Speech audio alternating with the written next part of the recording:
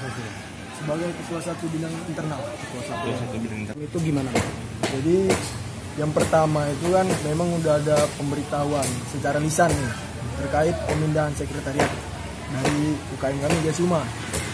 Dan pada saat itu waktu mediasi tadi kita memberitahukan kami nggak akan mau dipindahkan sebelum ada tempat yang sepadan ataupun tempat di mana kami akan dipindahkan.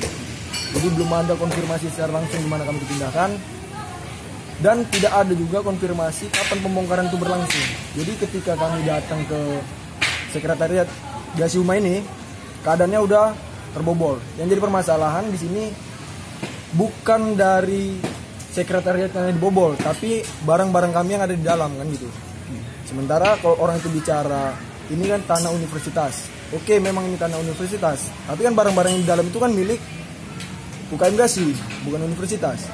Nah, itu yang jadi permasalahan.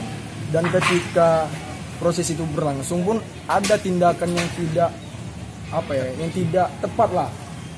Dan seharusnya nggak dilayangkan oleh wakil rektor bidang kemahasiswaan Universitas Medan Raya ini, yang di mana dia melontarkan apa ya kata-kata yang tidak sepantasnya di ranah pendidikan lah dan melakukan tindakan yang tidak kalau bahasanya apa ya? tidak etik lah ya. tindakan yang arogan gitu yang mana dia menarik mahasiswa yang menuduh mahasiswa membawa senjata tajam dan tanpa ada bukti gitu kan gitu nah ini yang membuat kami resah sebenarnya tindakan-tindakan yang seperti itu Eh, bang, pada saat terjadi kericuhan ini ada tidak mahasiswa yang menjadi korban atau terluka, Bang? Untuk korban sih nggak ada, karena memang kan kami di sini dari awal sepakat nih, tidak ada yang namanya pukul memukul gitu kan. Apalagi ya kalau misalnya mereka yang melakukan duluan lebih parah gitu kan. Untungnya nggak ada korban pada saat kejadian tersebut.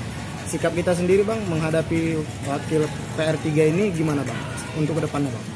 Kalau kami sih ya sangat menyayangkan lah.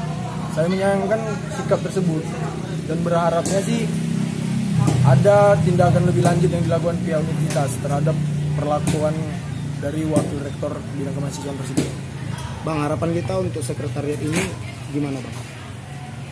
Nah, untuk harapannya sendiri ya, kan tadi dari awal udah dijelaskan bahwasanya ini belum ada konfirmasi di mana kami dipindahkan dan barang-barang dipindahkan secara diam-diam tanpa sepengetahuan kami. Harapannya itu kami diberikan ruangan yang jelas di mana dan sepadan lah karena kan alat-alat organisasi kami ini kan cukup banyak lah. Tidak muat hanya dengan sekretariat yang kecil gitu. Nah sampai sekarang memang nggak ada sekret yang betul-betul dikasihkan atau dikonfirmasi orang itu secara langsung. Ini sekret kalian belum ada